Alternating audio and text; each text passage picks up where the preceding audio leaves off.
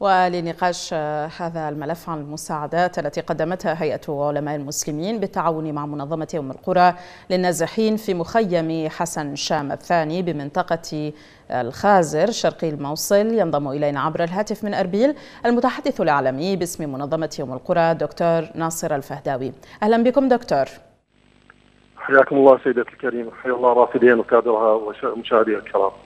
دكتور قدمتم في منظمة أم القرى وبالتعاون مع هيئة علماء المسلمين في العراق مساعدات للنازحين بمخيم حسن شام في منطقة الخازر ما تفاصيل هذه الحملة والتي هي ليست الأولى في هذا المخيم؟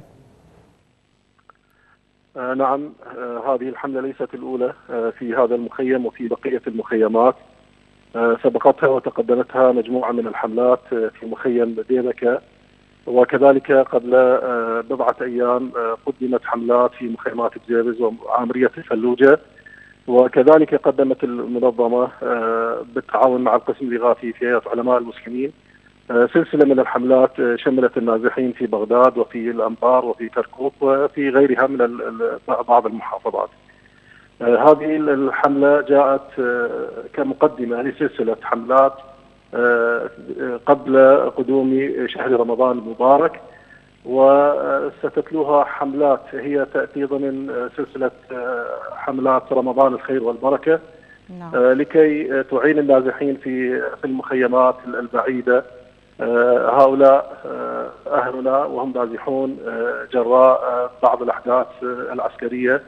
ولذلك اضطرتهم الأمور إلى أن ينزحوا إلى هذه المخيمات وهي بعيدة جدا عن عن طرق المواصلات وتفتقر إلى الشيء الكثير من من الاهتمام والمستلزمات الغذائية والطبية والملابس وغيرها من الاحتياجات الضرورية لهم ولأطفالهم ولمرضاهم.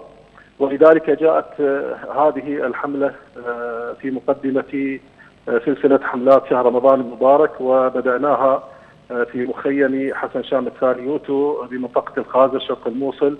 نعم. وشملت هذه الحملة 500 عائلة في هذا المخيم وكذلك بعض العوائل التي تحتاج إلى دعم ضروري خلال هذه الفترة في مناطق أربيل ولذلك جاءت هذه الحملة لكي تعينهم على أن يتهيأوا لبعض الطلبات الضرورية والاحتياجات الضرورية قبل شهر رمضان المبارك. هذه الحملة قدمت فيها 500 حمالية وكذلك ستأتي إن شاء الله حملات أخرى خلال الشهر الفضيل إلى أي مدى أثرت دكتور الظروف الاقتصادية والصحية التي يمر بها العراق على أوضاع هذه العوائل النازحة؟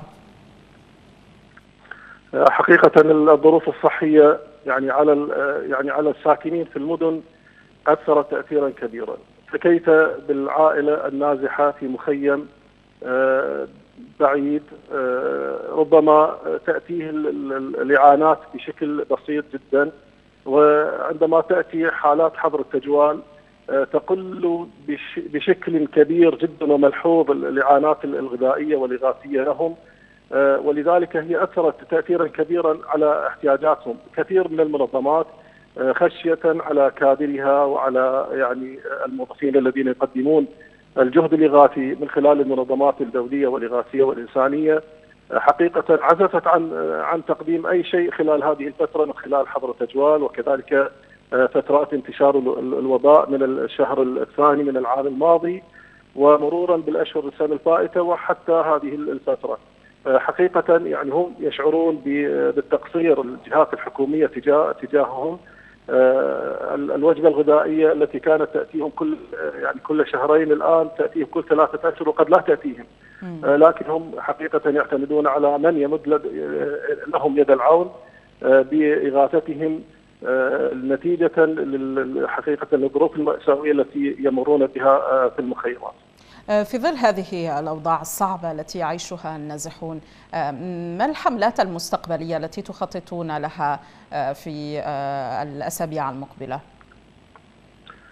نتيجة للظروف المأساوية التي حدثت في إغلاق المخيمات مخيمات السلامية التي كان فيها أكثر من عشرة آلاف عائلة ومخيمات يحياوى في في كركوك ومخيم ديلان الذي كان يعني فيه ما يقارب ال 1700 عائلة.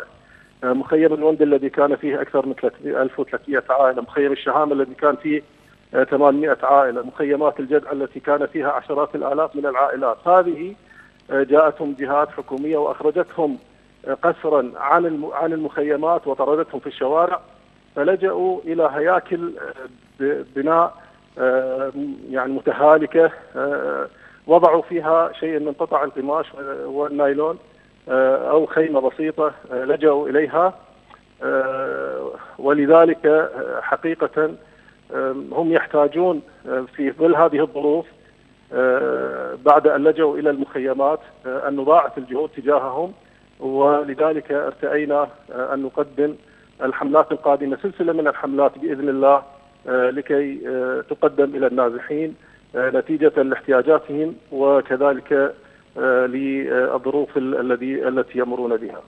كل الشكر لكم على هذه الجهود دكتور ناصر الفهدوي المتحدث الإعلامي باسم منظمة القرى حدثنا عبر الهاتف من أربيل